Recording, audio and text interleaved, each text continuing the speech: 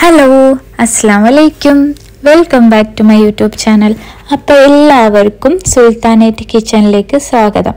അപ്പോൾ ഇന്ന് ഞാനൊരു ഉള്ളിവടയുടെ റെസിപ്പി ആയിട്ടാണ് വന്നിരിക്കുന്നത്. നേരത്തെയും ഞാനൊരു ഉള്ളിവടയുടെ റെസിപ്പി ഇട്ടിട്ടുണ്ടായിരുന്നു. അതിൽ നിന്നൊക്കെ ഡിഫറെന്റ് ആയിട്ടുള്ള നല്ലൊരു ടേസ്റ്റുള്ള ഒരു ഉള്ളിവടയാണ്. പണ്ട് നമുക്ക് ചായക്കടയിൽ നിന്നൊക്കെ കിട്ടുന്ന ഒരു നൊസ്റ്റാൾജിക് ആയിട്ടുള്ള ഒരു ഉള്ളിവടയാണിത്. അപ്പോൾ എല്ലാവരും എന്റെ ചാനൽ ഒന്ന് സബ്സ്ക്രൈബ് ചെയ്ത് സപ്പോർട്ട് ചെയ്യണേ. അപ്പോൾ ഇതെങ്ങനെ ഉണ്ടാക്കുന്നതെന്ന് നോക്കിയാലോ. അപ്പോൾ ഇത് നമ്മൾ ഈസി ആയിട്ട് നമുക്ക് ഉണ്ടാക്കാൻ പറ്റും. ഇപ്പോൾ നമ്മൾ ഉച്ചയ്ക്ക് ഫുഡൊക്കെ കഴിച്ചതിന് ശേഷം ഒരു രണ്ട് ഗ്ലാസ് രണ്ട് കപ്പിലുള്ള മൈദ മാവ് അതിൽ കുറച്ച് ഒരു നുള്ളു ഉപ്പും ഒരു നുള്ളു സോഡാപ്പൊടിയും കുറച്ച് വെള്ളം കൂടി ചേർത്ത് ഇതേപോലെ ഒന്ന് കുഴച്ച് വെക്കണം. അപ്പം നമ്മൾ വൈകിട്ട് നമുക്കൊരു നാല് മണി നാലര ആ ഒരു ടൈമിൽ ചായ കുടിക്കുന്ന ആ ഒരു ടൈമിൽ നമുക്കിത് റെഡിയാക്കി എടുക്കാൻ പറ്റും. അപ്പം ഈ ഒരു കൺസിസ്റ്റൻസിയിൽ വേണം ഇത് ഇരിക്കാൻ. അപ്പോൾ ഇതിലേക്ക് ഞാൻ ഒരു മൂന്ന് വലിയ സവാളയാണ് എടുക്കുന്നത്. സവാളയുടെ അളവ് നിങ്ങൾക്ക് വേണമെങ്കിൽ കുറയ്ക്കാം. മാവിന്റെ ടേസ്റ്റാണ് കുറച്ചുകൂടി വേണ്ടതെങ്കിൽ മാവിന്റെ ക്വാണ്ടിറ്റി കൂടുതലും സവാളയുടെ ക്വാണ്ടിറ്റി കുറച്ചും ആക്കിയാൽ മതി. അപ്പം ഞാൻ സവാള ഇവിടെ കൂടുതൽ എടുത്തിട്ടുണ്ട്. അതിലേക്ക് നമുക്ക് കുറച്ച് കറിവേപ്പിലയും കൂടി ഇട്ട് കൊടുക്കാം. അതിലേക്ക് ഇഞ്ചിയും കൂടി ഇട്ട് കൊടുക്കാം. അപ്പോൾ ഇഞ്ചിയുടെയും കറിവേപ്പിലയുടെയും പച്ചമുളകിന്റെ പച്ചമുളകും കൂടി ഇട്ട് കൊടുക്കുന്നുണ്ട് ഇതിലേക്ക്.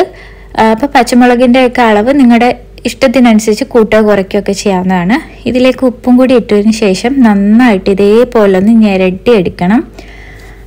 അപ്പോൾ ഇതേപോലെ നന്നായി ഞെരടി എടുത്തതിന് ശേഷം നമുക്ക് നമ്മൾ നേരത്തെ നന്നായിട്ട് പുളിക്കാൻ വെച്ചിരുന്ന മാവിലെ അതിലേക്ക് ഈ സവാള മിക്സും കൂടി ഇട്ട് കൊടുത്ത് നന്നായി ഇതേപോലെ കൈ വെച്ച് നന്നായി ഇളക്കി കൊടുക്കണം. അപ്പോൾ ഈ ഒരു രീതിയിൽ നമ്മുടെ ഉള്ളിവടയുടെ മാവിന്റെ കൺസിസ്റ്റൻസി വരും. അപ്പോൾ ഇനി നമുക്ക് ഒരു പാൻ ചൂടാക്കാൻ വെക്കാം. അതിലേക്ക് സൺഫ്ലവർ ഓയിലോ ഏത് കുക്കിംഗ് ഓയിലോ ഏത് എണ്ണയാന്ന് വെച്ചാൽ അത് ഒഴിച്ചു കൊടുക്കാവുന്നതാണ്. ഇത് നന്നായിട്ടൊന്ന് ചൂടാക്കി വെക്കണം. അപ്പോൾ എണ്ണ ഇച്ചിരി നന്നായിട്ട് മുങ്ങിക്കിടക്കുന്ന രീതിയിൽ ഒഴിച്ചു കൊടുക്കണം. ഇനി നമുക്ക് മാവ് ഇട്ട് കൊടുക്കാം. അപ്പം ഞാനൊരു സ്പൂൺ ഉപയോഗിച്ചിട്ടാണ് മാവ് ഇട്ട് കൊടുക്കുന്നത്. എന്നിട്ട് അതിന്റെ നടുക്ക് ഒരു ചെറിയൊരു തുള ഇട്ട് കൊടുക്കുന്നുണ്ട്. അപ്പം ചെറിയൊരു തുള ഇട്ട് കൊടുത്താൽ മതി. ഇതിന്റെ ഷേപ്പിലൊന്നും അങ്ങനെ വലുതായിട്ട് കാര്യമാക്കണ്ട. ടേസ്റ്റ് അടിപൊളിയാണ്. അപ്പോൾ ഇതേപോലെ ഒരു ചെറിയൊരു തുള ഇട്ട് കൊടുത്തു കഴിഞ്ഞാൽ ഉൾഭാഗമൊക്കെ നന്നായിട്ട് വെന്ത് കിട്ടും.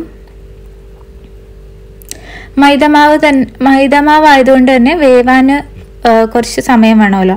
അപ്പോൾ കുറച്ച് ലോ ടു മീഡിയം ഫ്ലെയിമിൽ ഇട്ടിട്ട് ഇത് നന്നായിട്ട് മുരിച്ചെടുക്കണം.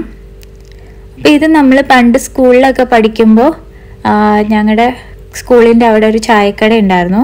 അവിടെ കിട്ടുന്ന ടൈപ്പിലുള്ള ഒരു ഉള്ളിവടയാണിത്.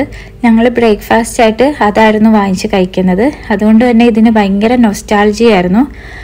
അപ്പോൾ എനിക്ക് ഈ ഉള്ളിവടയുടെ റെസിപ്പി ചെയ്ത് എടുക്കുമ്പോൾ എനിക്ക് ആ ഒരു കുട്ടിക്കാലമൊക്കെ വളരെയധികം ഓർമ്മ വന്നു. എന്റെ ഫേവറേറ്റ് ആയിട്ടുള്ള ഒരു ഉള്ളിവട റെസിപ്പിയാണിത് എത്ര കഴിച്ചാലും എനിക്ക് മതി വരത്തില്ല. അത്ര ഇഷ്ടമാണ് ഈ ഉള്ളിവട. അപ്പം ഞാൻ അത്രയും ആയില്ലെങ്കിലും അത് അതിനടുത്ത് വന്നു. കാരണം അത് അത്രയും നല്ല രസമാണ് അത് കഴിക്കാൻ. അപ്പോൾ ഇതേപോലെ എല്ലാം നമുക്ക് ഫ്രൈ ചെയ്തെടുക്കാം. അപ്പോൾ എല്ലാം നമ്മൾ ഇതേപോലെ ഫ്രൈ ചെയ്തെടുത്തിട്ടുണ്ട്. അപ്പോൾ നമ്മുടെ ഉള്ളിവട ഇവിടെ റെഡി ആയിട്ടുണ്ട്.